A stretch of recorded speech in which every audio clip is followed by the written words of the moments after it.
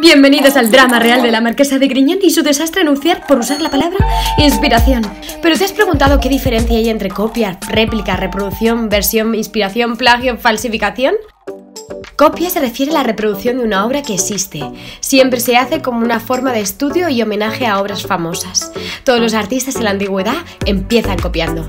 Réplica es una copia exacta de un original. Su función, proteger las obras más frágiles y deterioradas. Reproducción se refiere a la multiplicación de las obras de arte, generalmente a través de técnicas de impresión o fabricación en masa. Versión implica una interpretación personal o una adaptación de una obra que existe. Inspiración es el motor creativo que juega un papel fundamental en la creación de obras originales.